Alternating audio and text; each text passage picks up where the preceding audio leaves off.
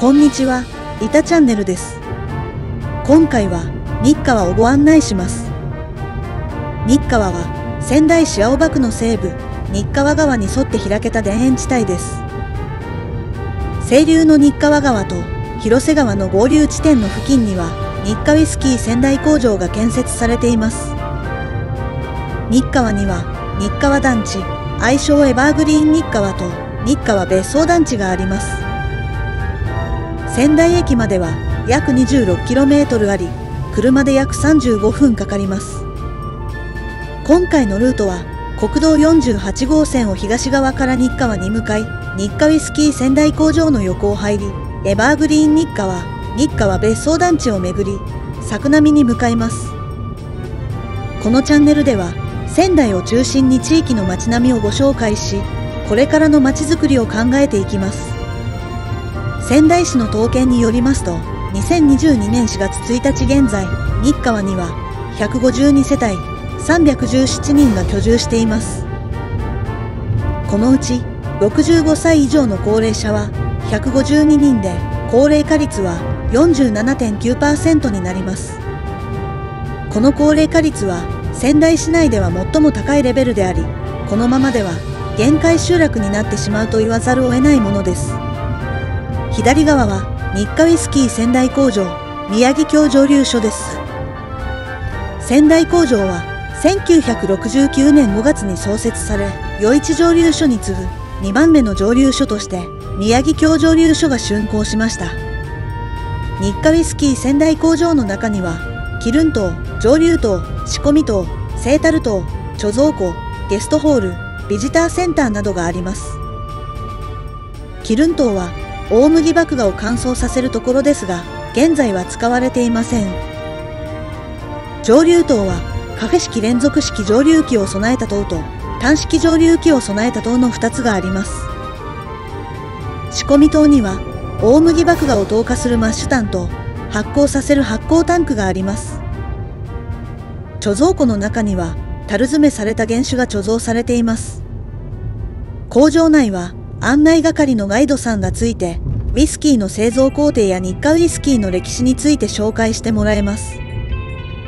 ガイドさんは、とっても可愛い方でした。また、見学終了後に、ウイスキーやアップルジュースの試飲ができます。工場で使っている水の試飲もできて、説明通りの美味しい水だと確認できます。なお、見学は無料で、事前に予約する方が良いです。日課では蒸留所の候補地を探すために全国各地の河川を調査しましたが、その中でウイスキーの製造に最適の日川川と広瀬川の合流地点が選ばれました。仙台工場の建設候補地を視察に来た際、創業者の竹鶴正隆がこの地を流れていた日川川の流れを見て、突然、その水でブラック日課の水割りを作って飲み始め、その場で建設を決めたと伝えられています。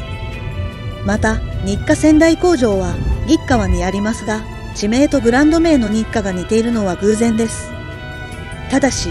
工場建設が決まった時に、宮城町が竹鶴正隆の希望を聞いて、お祝いとして工場の土地を日課としました。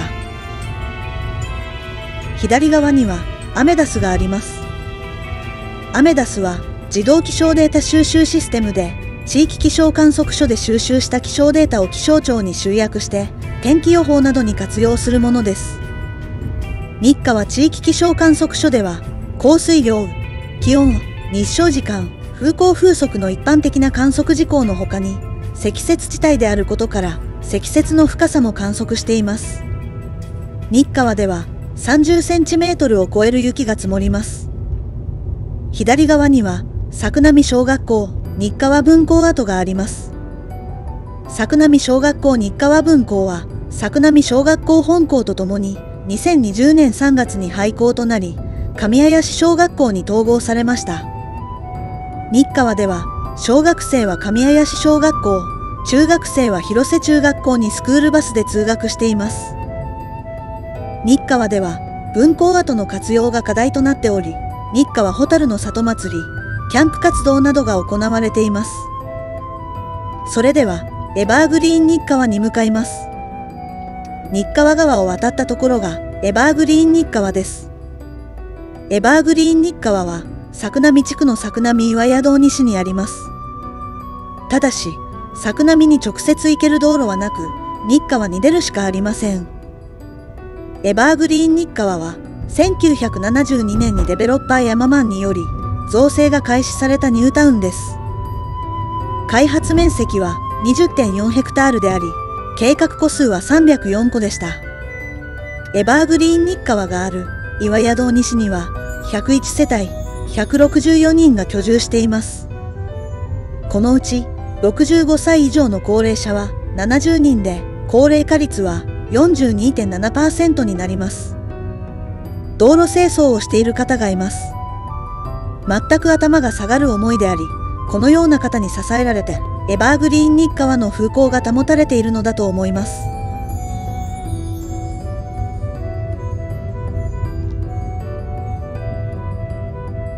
エバーグリーン日川は東部と西部に分かれ、それぞれに周回道路があります。まず、西部の周回道路を回ります。この付近には、冷蔵風の住宅が多く見られます。いずれも商社な建物です。中には専用住宅も見られます。冷蔵と専用住宅は半々程度でしょうか。現在の住宅は101世帯分であり、計画の3分の1となっています。このため、地域内には何も建築されていない区画が多く、雑木林のようになっています。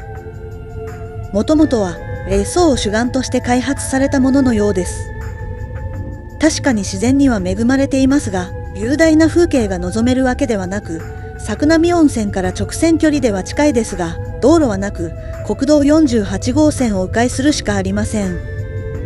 近くにあった西仙台ハイランドは廃業し、八森スキー場、面白山スキー場も閉鎖されています。このため、霊装地としては人々を引きつける魅力が少ないと思います。バブル景気のレジャーブームに便乗して作られた別荘地のようです。エバーグリーン日川の分譲地の広告はネットなどでよく目にします。撮影に行った時には、エバーグリーン日川内の2カ所で住宅が建築されていました。日川の最寄り駅であった JR 仙山線の西仙台ハイランド駅及び八森駅はいずれも2014年3月に廃止されました。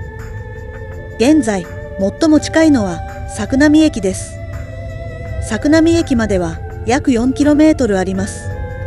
日川にはバスは運行されていません。西仙台ハイランド団地の動画でもお話ししましたが、以前は仙台市営バス八森線が日川地区、ハイランド地区を運行していました。しかし、採算性が悪かったため、2021年4月で廃止になりました。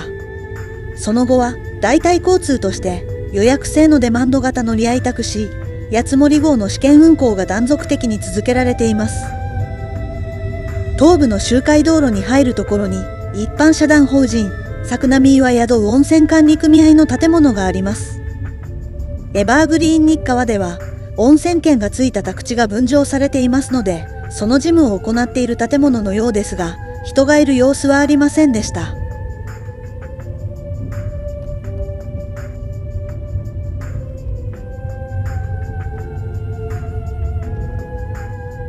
東部には日川団地を水処理施設があります。この施設は1980年に供用が開始されました。団地の規模からすれば大きな施設です。これは広瀬川の支流である日川川の流域が仙台市の広瀬川の清流を守る条例の指定区域にあたり、汚水処理の基準などが厳しく定められているからです。この条例により、自然環境の保全がなされるとともに、この地域の水を利用する日課ウイスキーの味も保たれているのでしょう。エバーグリーン日川には、冷層が多いのですが、専用住宅もあります。定住されている方々も少なくないようです。2019年10月には、作並岩宿西町内会、清瀬の会が設立されました。清瀬の会では、明るく住みよい地域社会づくり、及び共同して地域の諸課題解決へ向けての活動を行うことを目的とし、行政との窓口になっています。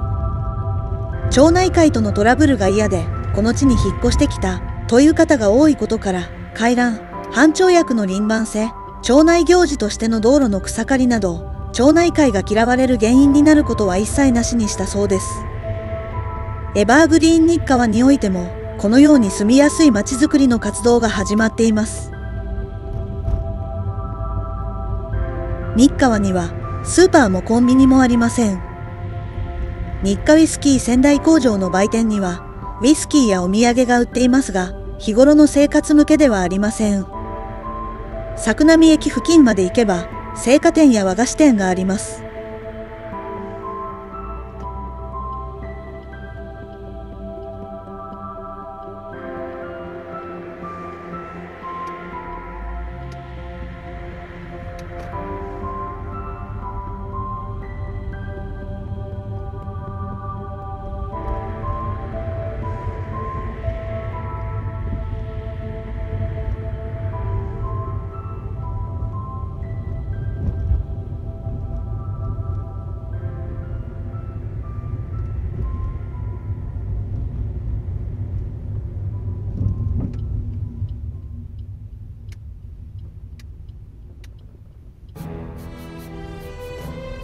左折したところが日川別荘団地です。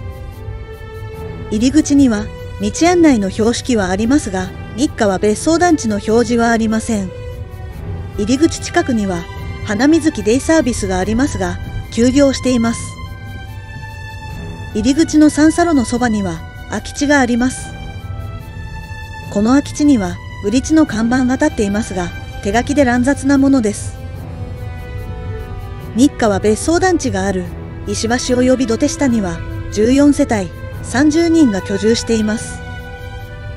このうち65歳以上の高齢者は10人で高齢化率は33.3%になります。日川別荘団地はエバーグリーン日川と同じ頃に造成がされたと思います。造成主体計画面積計画個数などの詳細は見つけることができませんでした。その先を進むと廃車が何台も置いてあるところがあります。廃車置き場とするのも土地の所有者の自由ですが霊装置としては眺望を台無しにすると思います。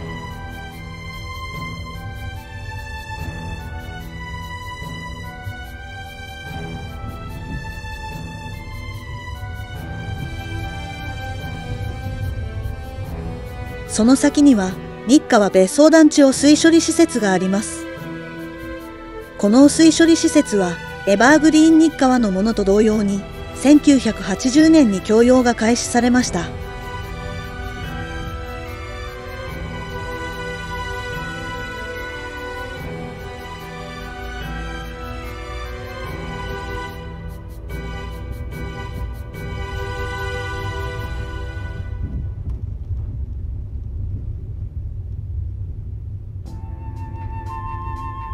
この道は団地の中央を通る環状線ですが、次第に道が狭くなり、車が通った跡がなくなります。両側から木々の枝が伸びており、分譲地の境界は見えなくなっています。Google マップの航空写真を見ても、この先には住宅は3軒程度しかありません。車で通り抜けられるかわかりませんし、熊に出会うのも怖いので、この先の田んぼは断念して、ここから入り口に向かいます。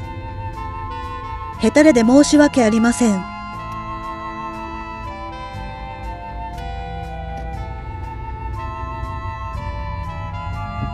日川別荘団地は建物が10軒程度しか建っておらず、入り口付近の他は造成されたままで放置されているようです。木々は伸び放題で除草などはされていません。分譲地の境界もほとんどわかりません。ネットを見れば、2、3の売却地の広告は出ていますが、事実上の分譲放棄地のようです。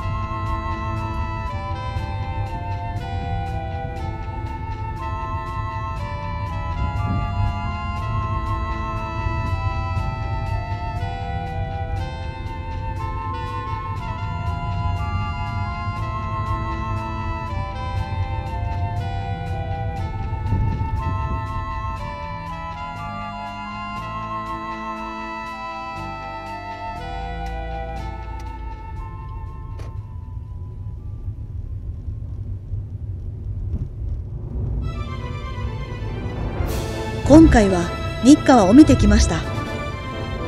日川は日川川に沿って開けたところであり、日川川の清流などの自然が豊かで水田が広がっています。ここに日川スキー仙台工場が建設され、エバーグリーン日川や日川別荘団地などが造成されています。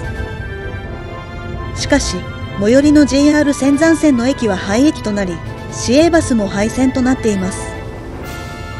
もちろん、スーパーやコンビニはありません。撮影に行った日は、あいにくの天候でしたが、日川には里山の田園風景が広がり、日川川には清流がありました。日川ウイスキーの工場は霧に包まれていて、エバーグリーン日川や日川別荘団地は、林の中に住宅が点在していました。このような豊かな自然を守りながら、住民の方々が住みやすくするための工夫が必要です。日川では、少子化、高齢化、有害鳥獣問題、休耕地の増加、分校跡の活用などの課題があります。すでに、地区全体では作並日川地区活性化連絡協議会が設立され、エバーグリーン日川でも清瀬の会が発足しています。この他にも、多くの団体が地域の課題に取り組んでいるようです。このように、日川の課題や問題に対し、住民の方々の取り組みの勢いが増しているのです。それでは日川のご案内を終わります。ご視聴ありがとうございます。